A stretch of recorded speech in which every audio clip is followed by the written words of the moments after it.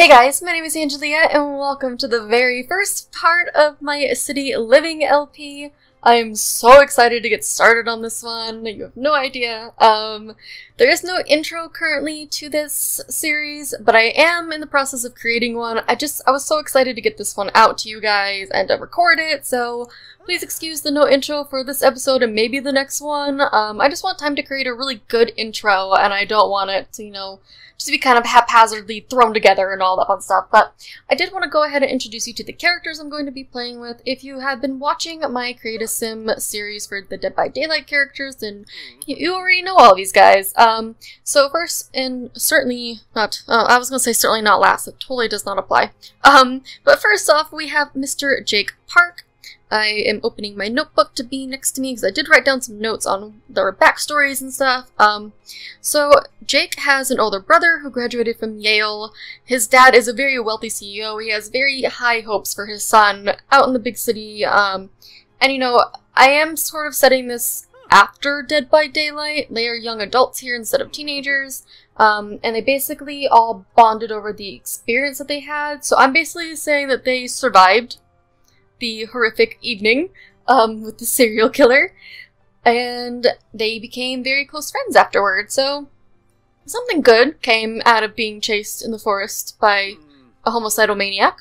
You know, as as it happens. Um, he is currently at odds with his father, though they don't quite get get along or see eye to eye. His dad's expecting a lot out of him, and Jake just doesn't want to do it. He's not really into that type of lifestyle, you know, being a business CEO and stuff like that. He just wants to be him. He wants to be outside and hang out. Um, he is very close to his mother, though. and His mother actually has been the one to sort of support him financially, so he does get, like, some money from her. Um, I, I still need to implement that into his household because I completely forgot about it when I was setting it up, but he does get some money from his mother.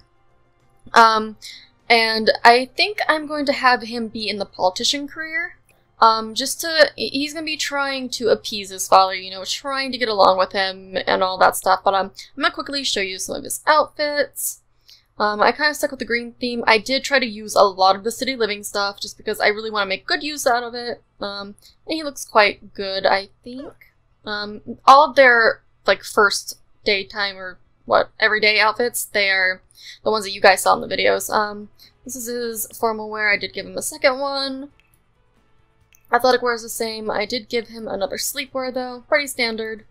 Um, so this is his cool party wear. I did this funky thing. It, this was a styled look actually, and I was like, you know what, I'm gonna use it. Um, his swimmer is the same. So let's jump over to Mr. Dwight Fairfield. I did change his everyday shirt just because it was a little bit too dressy. For the Create a Sim, obviously, it was fine, but for this, not so much.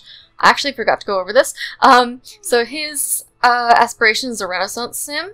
So he gets the quick learner trait from it. He loves the outdoors, he is good, and he is active. Um, for Dwight, he wants to be leader of the pack. I thought that was perfect because one of Dwight's perks is actually called leader. So I was like, you know what, we're gonna do that one. Um, he is good, he is a geek, and he, or geek rather, and he is neat. Um, this is Dwight's first look. I'm just gonna quickly go through the looks really fast. Um, I really like this one on him because he's kind of a wannabe jock. Um, actually, let me go and read some of his stuff. He is a geek. He tried to be cool in school. It just didn't work out for him. You know, he was one of those guys, he tried so hard to get in with the cool crowd, just did not work for him.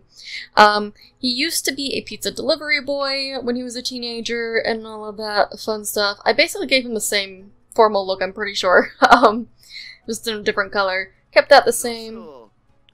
Um, I did give him this nifty thing for nightwear. I'm pretty sure this is Asian inspired, but I was like, this looks like nightwear, so this will totally work for Dwight. It's kind of right up his alley. Um, I did, he still has this, like, pizza uniform thing on here, um, in this funky Hawaiian shirt. I actually need to give him another, um, party wear outfit. Um, and swimwear is pretty standard. Um, he tried out for the football and basketball teams when he was in high school both of them did not work out, but he still likes to try to play basketball in his free time, so we are going to be exploring the basketball thing with him. Um, and he is a natural leader still, even though he was a bit of a nerd. Um, we're going to actually move on to Claudette next. She is a freelance, oh, her aspiration is a freelance botanist, so she gets the collector trait. Um, she loves the outdoors, she's good, and I gave her the vegetarian trait. It just kind of seemed to fit. I also think she's going to be our social media career person, just because Claudette spent a lot of time in like chat rooms and stuff because she's very shy and she could only really have conversations with people in chat rooms and stuff like that. So I thought that would be kind of perfect if she was in the social media career. Um, she loves science and experiments, and she loves plants and working with them. I really liked this like sweater and dress combo. I don't know why. I thought it was really cute on her, and it's sort of fitting for her personality. Um, I also wanted to like tap into. Obviously, she is definitely not a white pasty girl, but I really wanted to tap into that side of her. So I really wanted to use this head wrap, so I decided to. Um, and I think it's like a nice contrast to what you normally see Claudette in. It's a nice like hey, this is her culture and she's embracing it now as an adult when she might not have as a teenager. Um, I really like this one on her as well. I try to stick with a lot of greens on her. Um, I put on the new boots for her because those remind me of some of her boots in the game. Um, so that formal wear is still the same, but I did give her this really pretty yellow one. I thought it was really cute on her. Um, that's the same. I did go ahead and give her another sleepwear, again with the head wrap, which I thought this looked amazing altogether, and this is kind of like a perfect sleep look if you ask me. Um, and I did go ahead and give her this for her extra party wear one. Um, she loves botany. She's very introverted and shy, as I said, and she regularly like makes posts in forums and everything. So definitely going to be doing the social media career with her. Let me just turn my page real fast. Um, so next up, we have my girl, Meg Thomas. Um, I gave her the city native aspiration because, I don't know, this feels pretty fitting for her in particular. Um, so she now has the home turf trait. She is active, loves the outdoors, and she's definitely ambitious. Um, so you guys have all seen this look on her. Um, I gave her this one. I really wasn't sure what to dress her in, because Meg's a little bit hard to dress. Like, I don't know if she's particularly girly or not. Um, she is into, like, sports and stuff, but she wears a lot of pink as well, so I think she's girly while remaining active, if that makes sense. Um, so her dad actually left her when she was a baby, left her with her mom, and this is her mom down here that I added. She is in the world, she is in another apartment, um, just, obviously she's not living with them. Um, she's very fierce and headstrong. She knows what she wants, and she's gonna go for it the second she sees it. Um, she was very, very good in school, but she got bored really easily because of it, so joining the track team wound up keeping her grounded while she was in school. Um, and she did give us well, she did get a scholarship for college, but she wound up giving it up to take care of her mom because her mom fell ill. So that's why her mom is in the world. I have it so that basically she grew up in San Myshuno. That's where I'm going with that one. Um, I really liked this outfit on her. I wanted to stick with the pink theme, and I put little earrings on her. I think she looks really cute. Um, and I really, I loved this romper so much that I put it on Meg as well. Oh, I didn't even notice this, like, back detail. That's amazing. Um, and again, I stuck with the pink theme for her. I've already seen that one, but this one's new. This is obviously came with the pack. Um, I think I gave her a second. Yeah, I gave her the basketball jersey with the uh, short or whatever jersey with the short hair, just to, like a nice little throwback to the game because Meg does have a short hairstyle look in the game. Just pretend it works. Just pretend you can go from short hair to long hair in a split second. Um, and I decided to give her the same one while sleeping with the new pants. Um, party wear, she wound up getting three. Um, because I really liked this dress on her, but not enough for, like, everyday wear. And I really wanted them to have, you know, some sort of, like, club-type outfits, just so they could go out in the city and have some fun. Um, and her swimwear is still the same. Um, and last but not least, we have Miss Nea Karlsson. She is Swedish. She is known for being a tagger and an artist. She's very passionate about her art, but um, her aspiration is Chief of Mischief, because she does get in trouble quite a bit with the law, so she has the dastardly trait.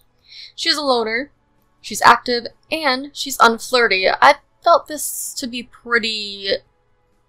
I don't know, I, I really liked that trait for her. Like, it felt right to me to put that on to Nea. Um, Nea I really think is adorable. She I still think even over Meg, she might be my favorite one that I created. I really think I did a pretty good job on her face. Um, she's had a lot of run-ins with the cops, so she's very good at running and all that fun stuff. Hmm. Um, and she is very adventurous and daring, and she, you know, she just wants to grip life by the handlebars and go for it. Um, I try to go with a more daring sort of look for her when it comes to like picking out pieces, because normally I wouldn't do like scale snake skin looking things, but um, I thought it really suited her personality quite well, so uh, I don't know, I thought it worked, because she has some really funky pants in the game now, ever since that 80s DLC came out. Um, gave this cool Ramones t-shirt, you know, got the Converse on, standard look. Um, and this one I really loved. I I don't know, I really love the combination of all these colors, and this really seems like something Nea would wear. It's, it's a little artsy to me. I don't know, I like it.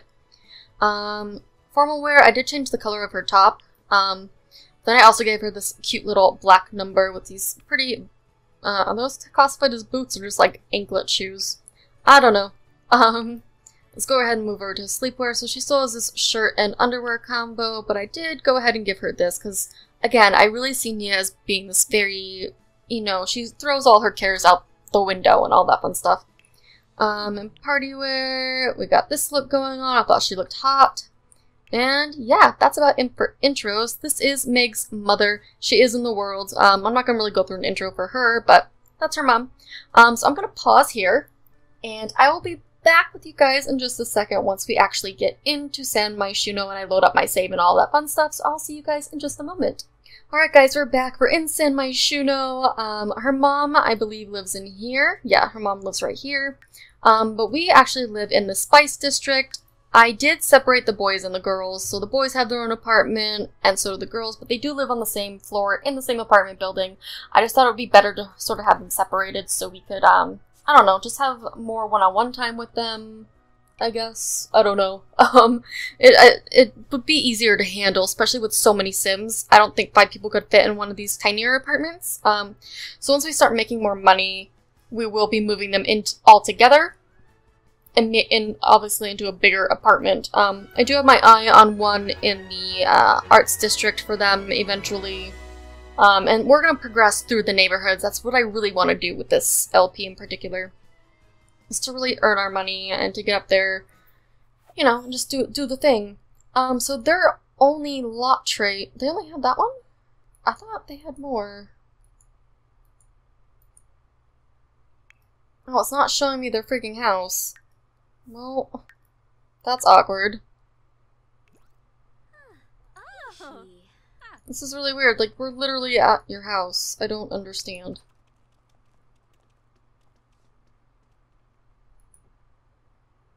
Um, I think it's glitched. that could just be me, but I'm, I'm, I'm pretty sure it's glitched. Um, huh. This is weird. Let me pop back out over to here.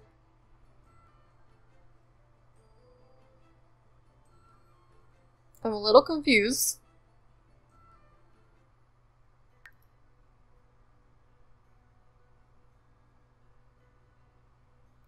Like, it's showing them as not being home.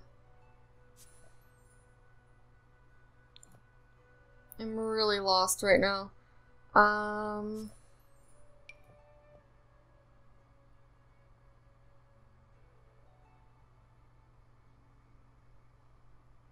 I just want to show the apartment. Why are you being weird?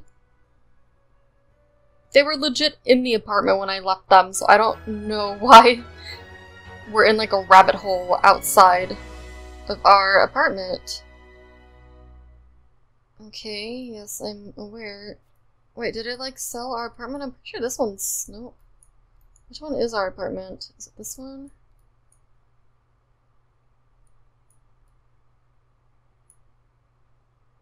I think this one is ours.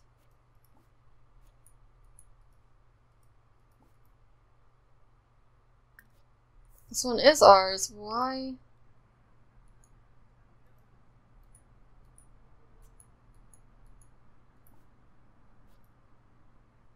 I'm so confused. What? Okay, what about if we travel with them?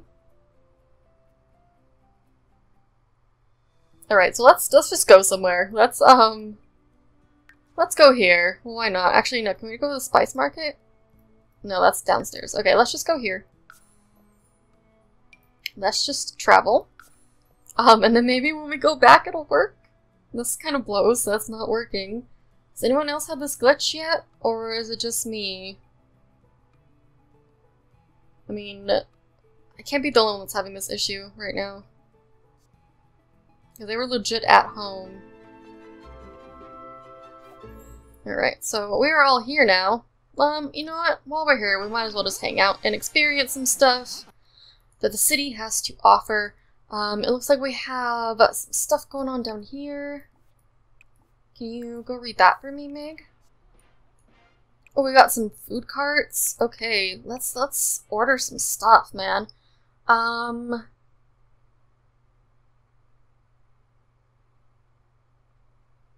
She could order the spinach wrap veggie burrito. I don't know what this card is. It's not open. What's the cards? What's the thing say, Meg? Future Sim Labs present Inventicon. Inventicon will challenge the best and brightest of the world. You you will have 48 hours to design and create the invention of your dreams. If you think you have what it takes to be the next Bill Hawkins, then sign up today. That's pretty cool. Um, so Claudette is ordering some food. She's eating her fun little veggie wrap. Um, why don't you go toss a coin there, Meg? Um, let's go watch this performance. Oh, I should have Nea. That's really cool. Go spray some graffiti. That's totally up her alley. And I'll have Meg come over here. And go tip her. Here, you don't have to watch her anymore, Nea. I really want you to do that street art. Um, and then once the timer goes off, I'll try to get them back to their house. Oh, are you... Are you done now? Go tip her. Buy produce? That's cool. I should have Claudette do that. Oh, Jake's here. Um, okay, I don't think Meg would have a thing, but I'm gonna have her go practice some dribbling. This is so cool. So it looks like our first convention is gonna be Inventicon, which I'm pretty stoked about. Oh, this is really cool. Oh my gosh. This will make things like so much easier. Um, what are the ones that give you a lot of money? I think blackberries do. So I'm gonna buy four of those. No, let's just buy one grape. I don't know how much plantains give us. I'm just like buying stuff that I know will make us money. Uh, yeah, let's just buy those. That's really cool. She's still eating this freaking wrap. Congratulations, Claudette has taken her first steps on her culinary journey through the city. Eating food from the city unlocks the ability to cook it. There are 26 more recipes to learn. Get out and try more food. So cool! The only bad thing is that Claudette can't eat all of it. Um, if only because she's um she's a vegetarian, so we can't exactly do that. Um, I'm looking for like those boxes that are everywhere. Yes. Meg. Meg, this is your job now. You have been chosen. You were the chosen one. Why are you shooting from all the way over here, honey? You little dork. What are you doing? I really want to show off the apartment. Doesn't like me. Oh, that must be for like the romance festival. Alright, so she's gonna go search through this box, and let's see what we can find in here. From the dusty depths of the free box, Mega's recovered one cooking volume to Let's Keep Cooking. Cool. That's really cool. Alright, how is your painting going over here, Nea? Not very well. You're not even close to being done, so I'm gonna end that. Let's um go ahead and travel and get them back home. I think that's Dwight right there. Just hanging out. Okay, let's see if we can get this to work. Let's go home. Please work. Fingers crossed. I don't know why I just like kept them in the little lobby area.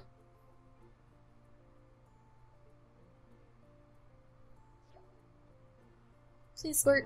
I'm like crossing my fingers in real life right now. Yes! Okay! We are in our freaking apartment. Alright, so I did go ahead and give it a slight makeover. Um, just like the wall colors, and I add some splashes of color. We didn't really go over budget. As you can see, we have a decent amount left over from when we moved in. This apartment was relatively cheap, um, and it's not dirty or anything. Everything's clean. We do have this haunted placard thing over here. I haven't actually had anyone read it, so I'm going to have her actually come over here and read it. In memory of Walden White, the landlord has one rule. The historical plaque dedicated to a former resident can never be removed or sold. It's pretty cool. Um, so I did add some funky colors in here because they're girls and everything, and I really wanted some bright colors.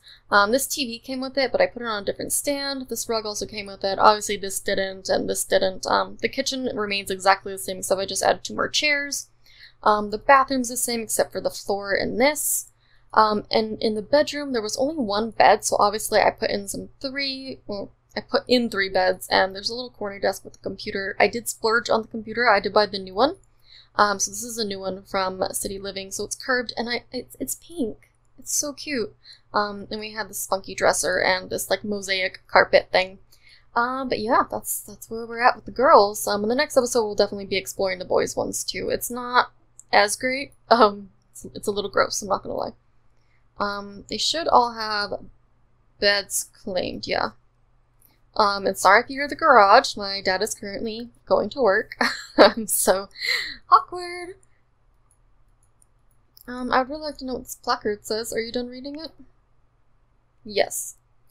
This location has been deemed a site of historical significance by the city council. Hmm. Alright.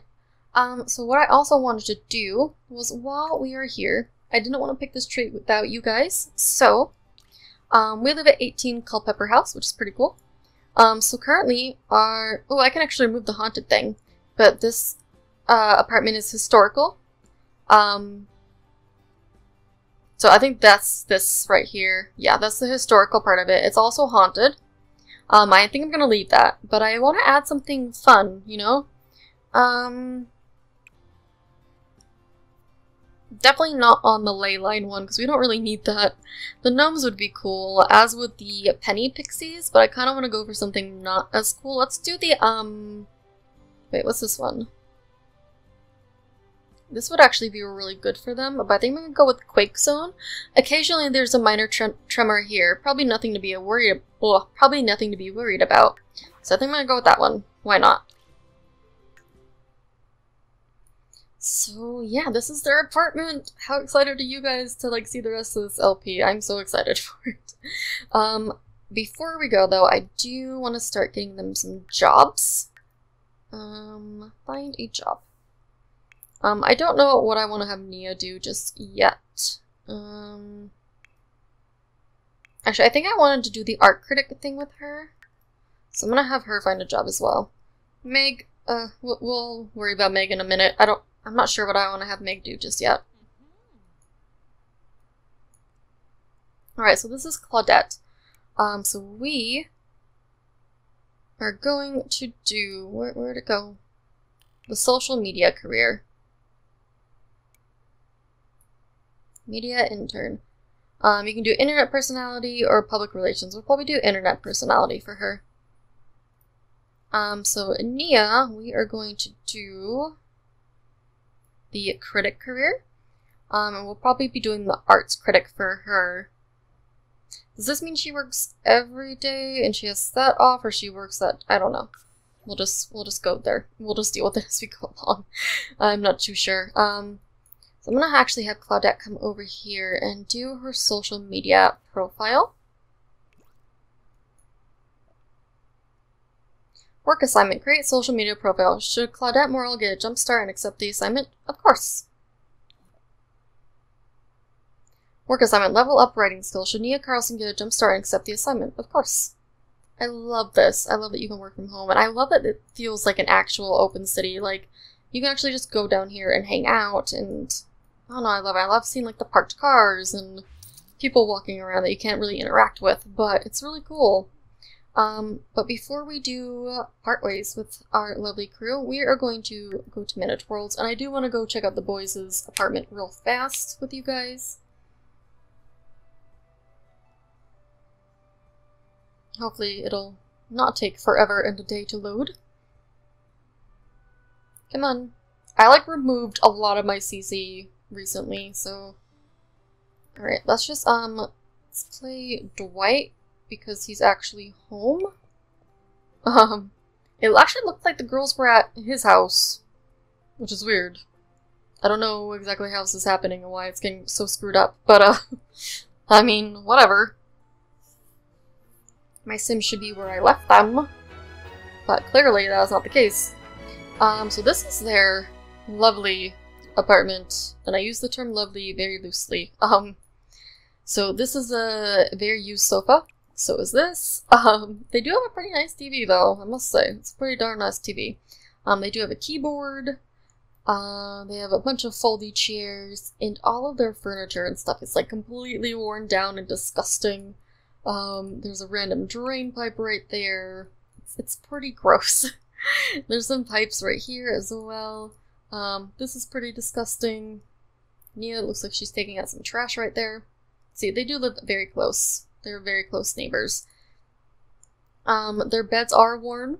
I'm pretty sure this is actually Jake's room because I feel like he's less fussy.